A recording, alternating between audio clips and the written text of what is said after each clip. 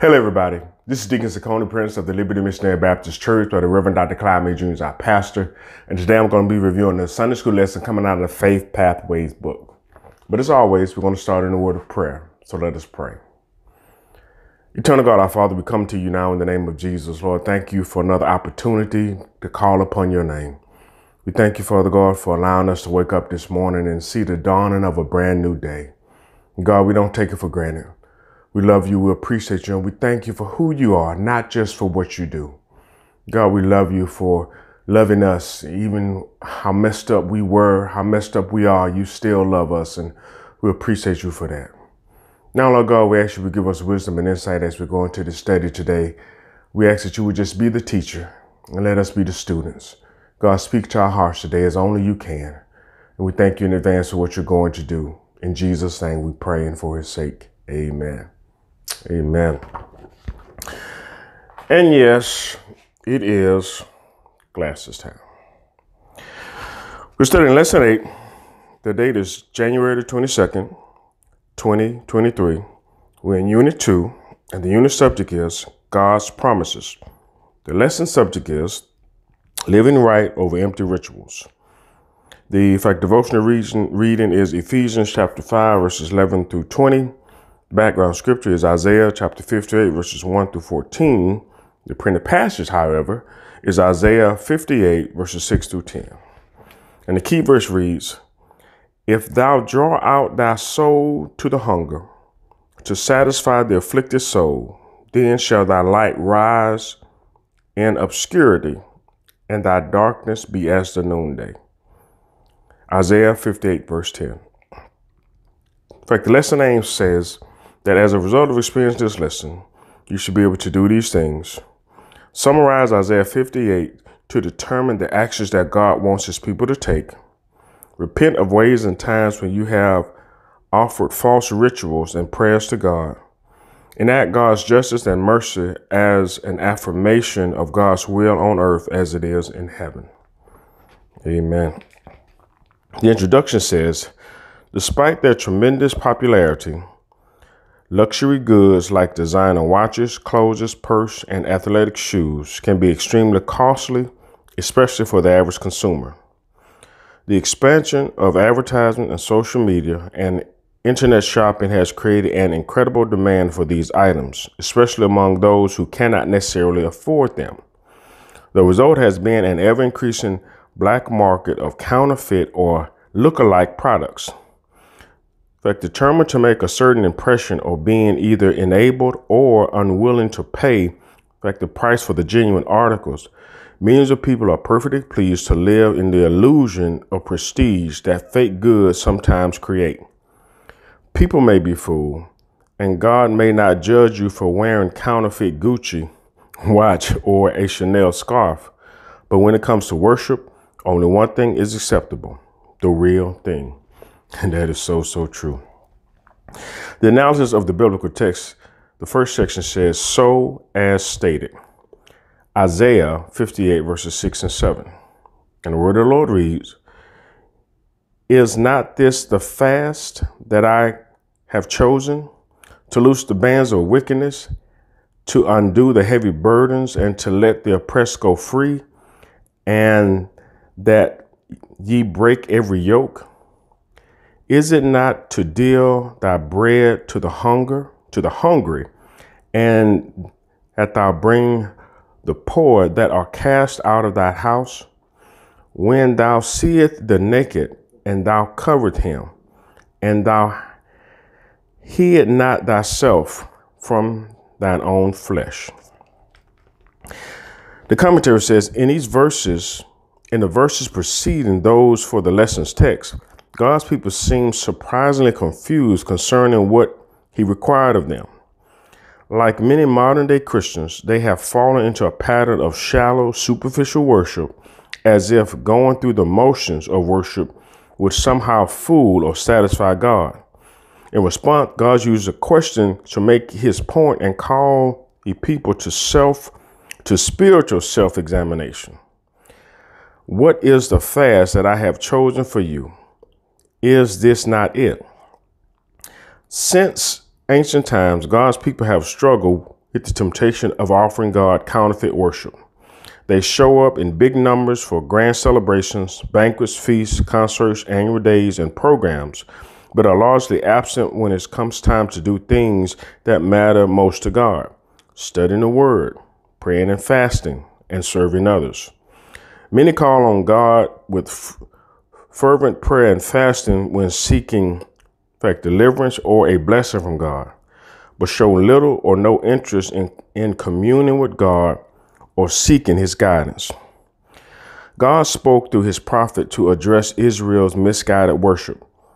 Even with good intention and a, and a sincere heart, it is possible for one to drift off course in his or her spiritual relationship. Therefore, every believer should periodically examine his or her spiritual life with this question in mind Does my worship please God? Am I still focused on the main thing? God clarifies that fasting is a significant spiritual goal. It recharges the believer to experience a closer connection to God and deeper sensitivity to his priorities. Fasting turns the believer's heart towards expressions of true worship, service to others, helping those in bondage. In fact, relieving the oppressed, feeding the hungry, assisting the homeless, and clothing the naked. Notice the direct parallel between this list and the words of Jesus in Matthew 25, verse 35 through 36, concerning God's priorities and final judgment. Fact, regard for the hungry, thirsty, strangers, naked, homeless, the sick, and the in prison. Fasting gives sensitivity and strength to do the right thing concerning those in need.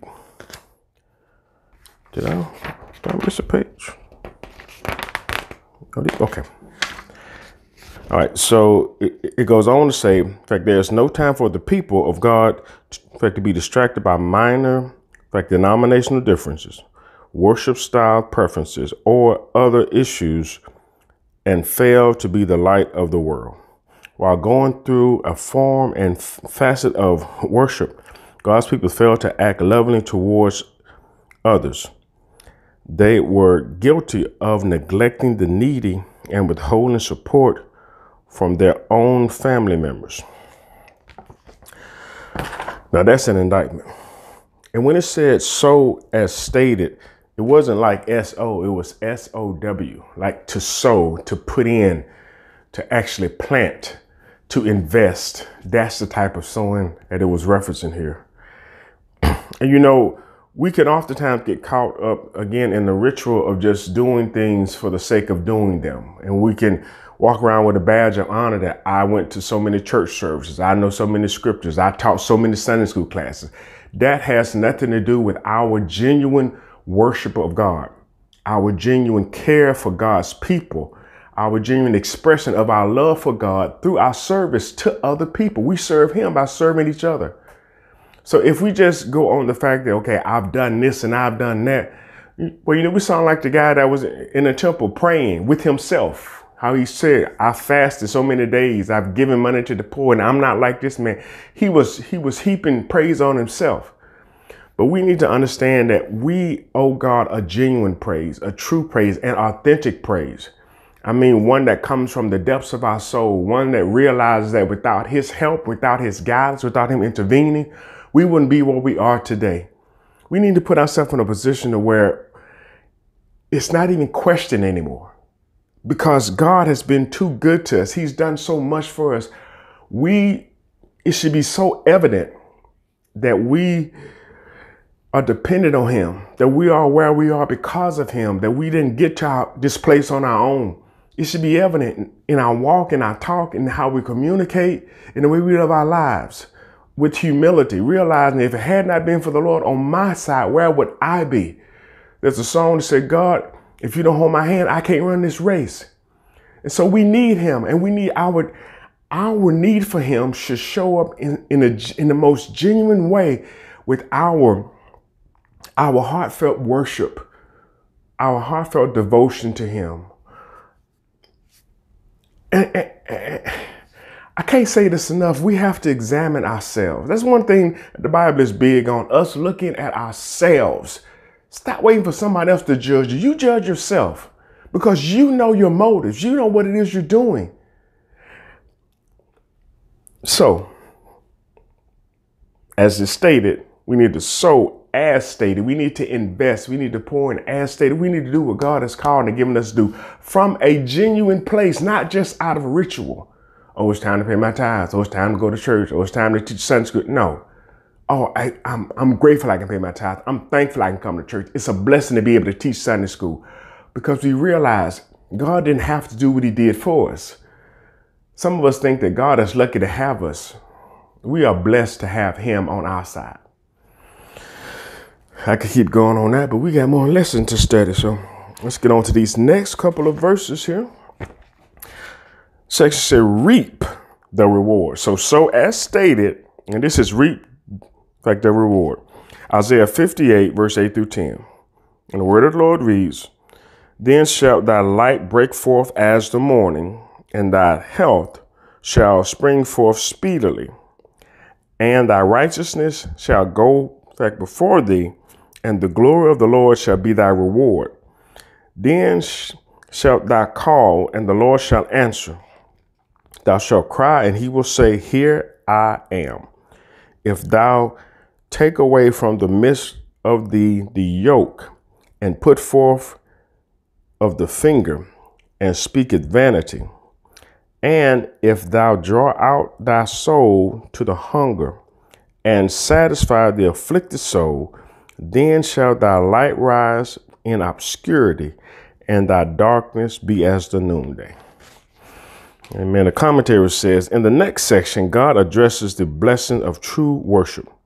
Those who combine their fasting and religious ritual with righteous living and love experience and specific set of blessings, like beginning with answered prayer.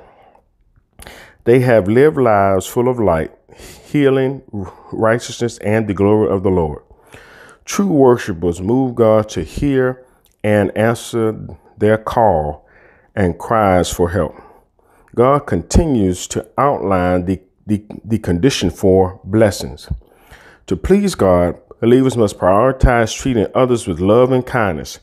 Specifically, they must refuse to participate in behavior that offends God mistreating and oppressing people, mocking others, or casting blame and speaking evil of others.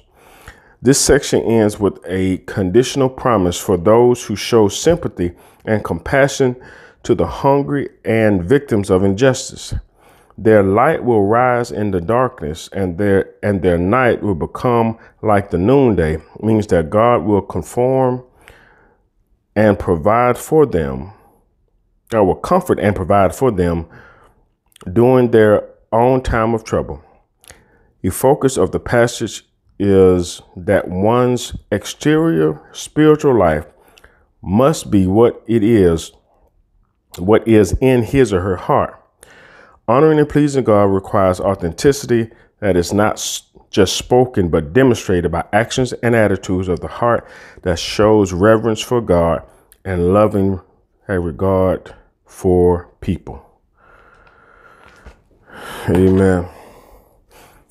So again, we have the sowing and reaping. I believe it's in Genesis chapter 8 where it says that as long as earth remains, there'll be seed time and harvest time. I believe it's 8 and 22.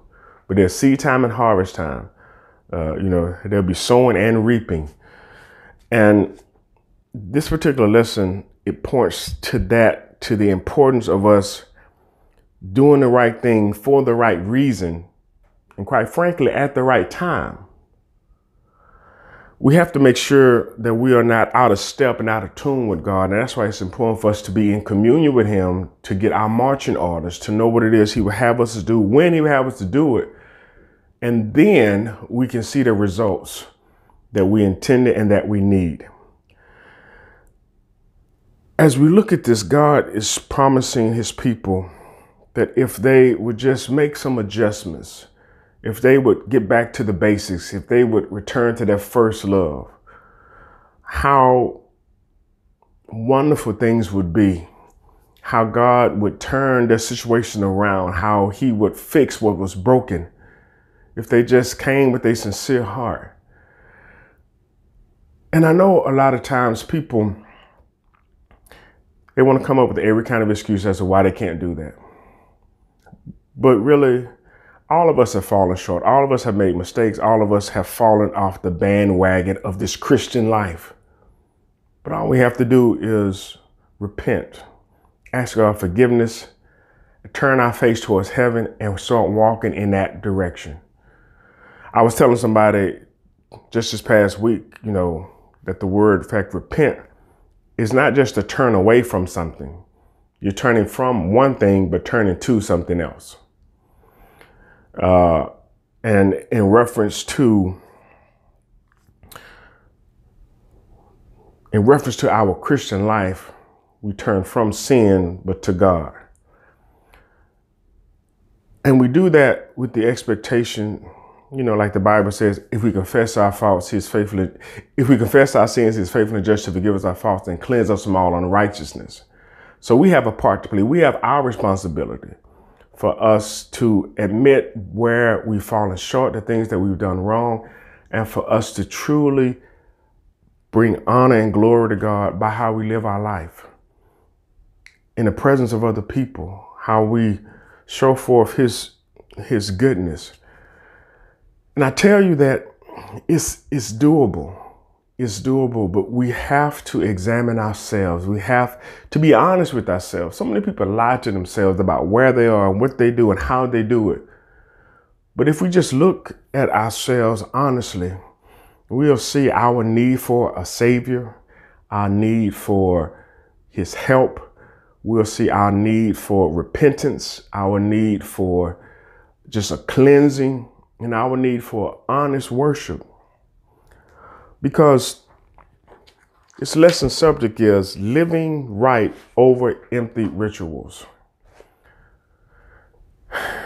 If your heart ain't in it, I really don't want you. I really don't want you to do something for me if it's not in your heart to do.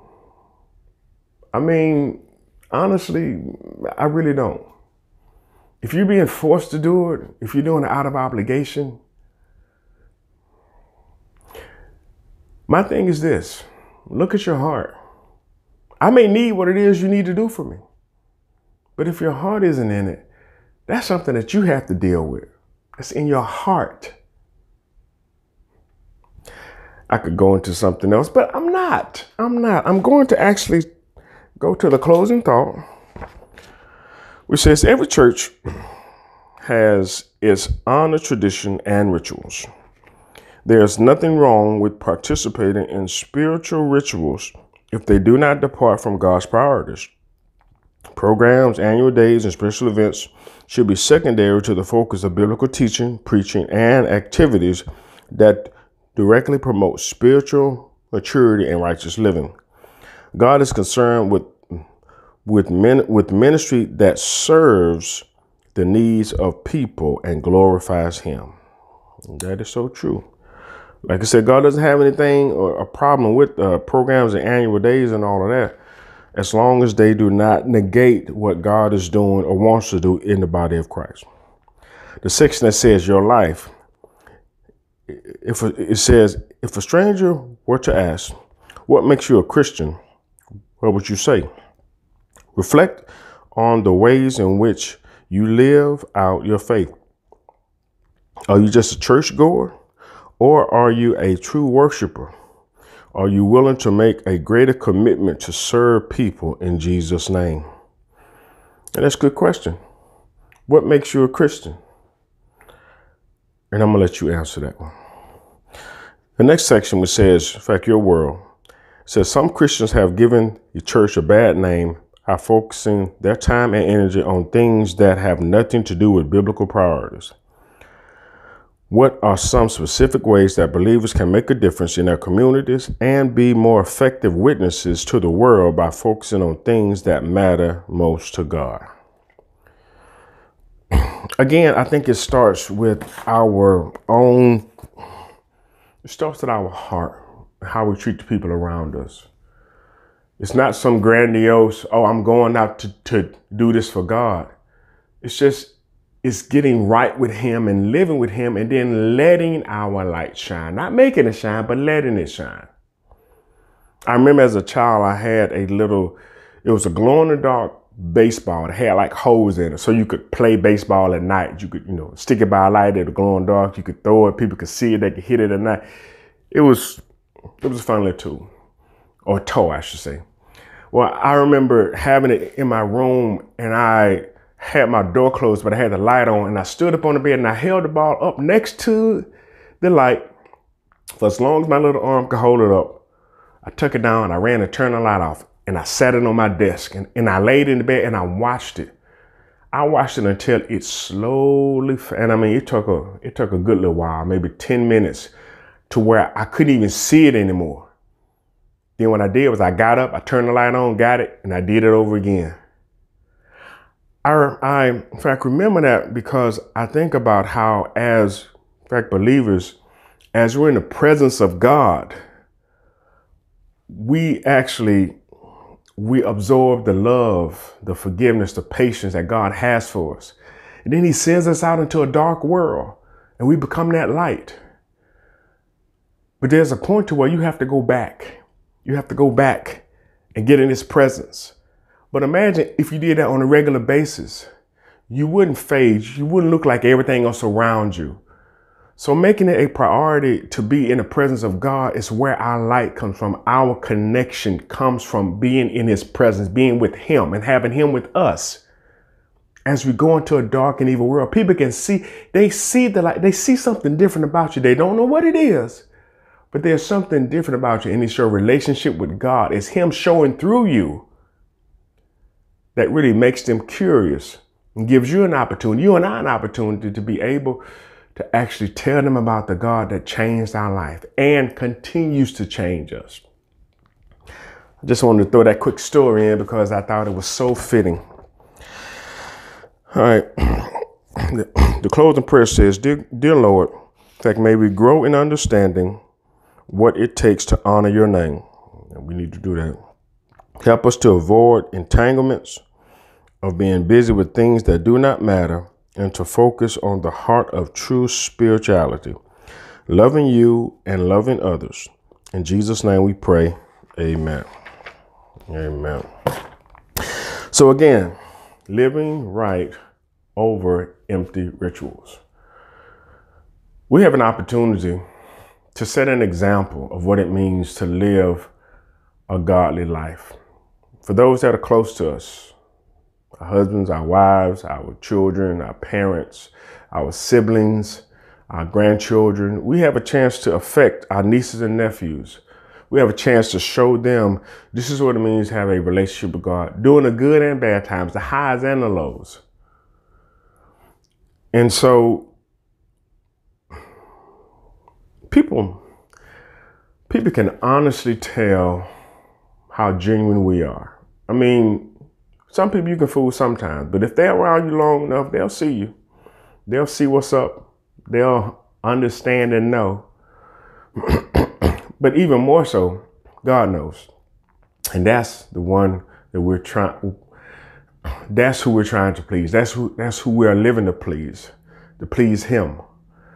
So I want to encourage you, I'm going to encourage all of us, even myself, to evaluate, our, to spiritually evaluate ourselves, to understand that we have to have a genuine and, and authentic worship with God.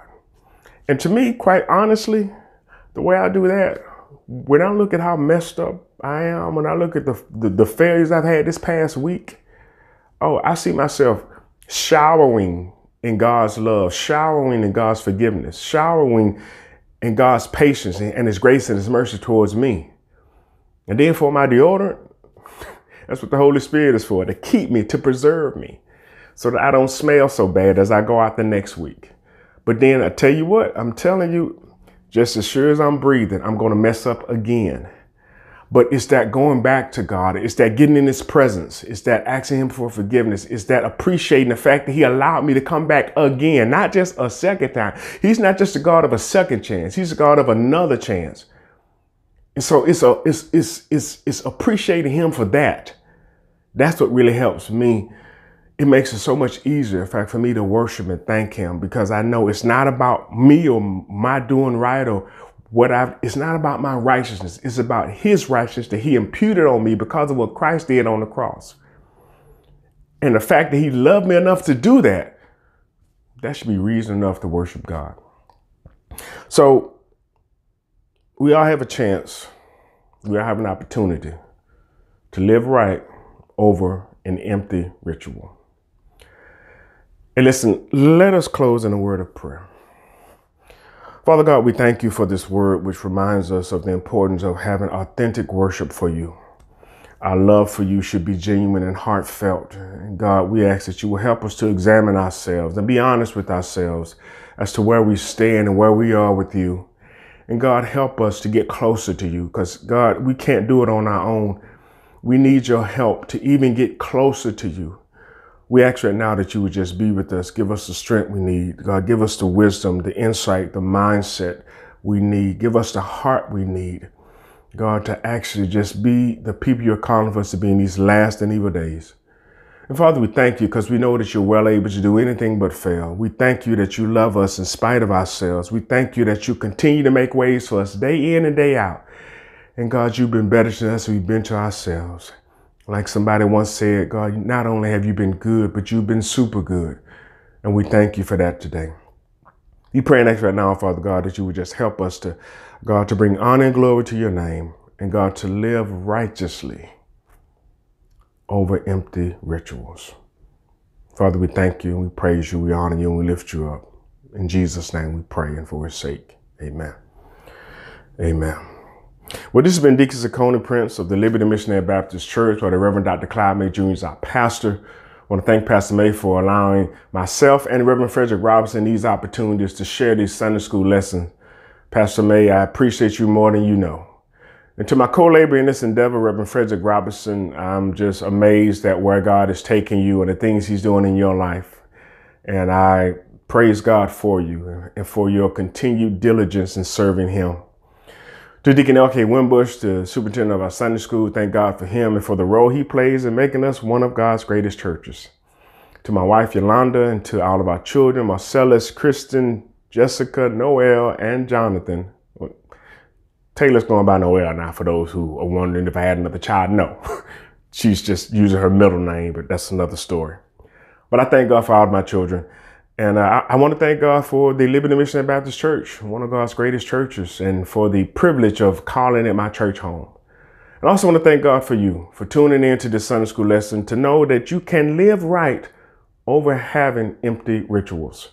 And listen, I you would like and share this video so somebody else can get this valuable message. We'll talk to you soon. God bless. Bye.